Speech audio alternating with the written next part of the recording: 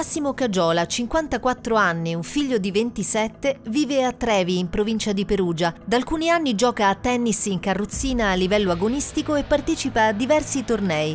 Tra un mese ci sarà il prossimo. Adesso a luglio ne avremo un altro. È normale che scenderò in campo per vincere. Poi vedremo. Investito da un'auto mentre andava al lavoro in moto nel 2000, Massimo ha subito una grave lesione del midollo spinale. L'inizio lo devo dire che è stata durissima.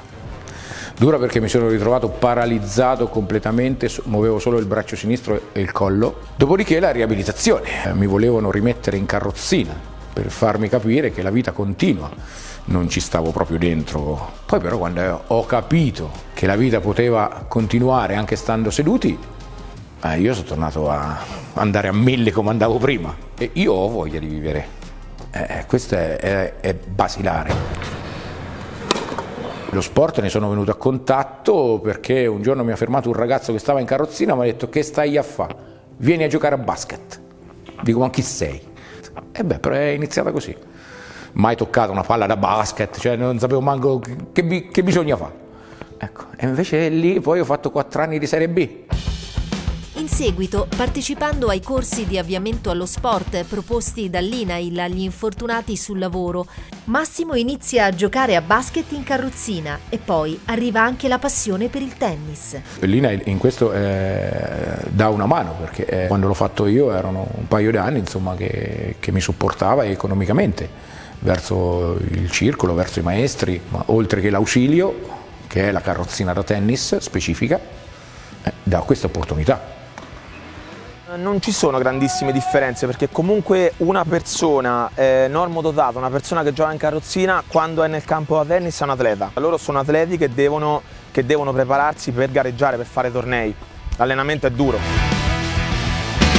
Poi con il tempo Massimo riscopre un'altra passione abbandonata dopo l'incidente, la moto. Parliamone, Faccio parte di un gruppo regionale che si chiama V45 Harley Group Free Chapter. In Italia siamo in 35 club che ci incontriamo mensilmente, bellissime feste. Dove si mangia e si beve, si sta bene, incontri gli amici, si fanno fare belle girate in moto. E questa è la mia vera passione. Vado in una moto a tre ruote adattata, porto la carrozzina e mi faccio anche bei viaggi a Budapest, Francia, Austria, Massimo è una persona estroversa e allegra che attraverso lo sport e i suoi interessi ha ritrovato energia e voglia di vivere. Lo sport ti aiuta, prima cosa, nello stare insieme ad altre persone, a superare le paure che uno ha, perché tutti noi abbiamo delle paure, forse un pochino più. Faccio sport a livello di divertimento, di benessere, ma poi quando scendo in campo è, è guerra.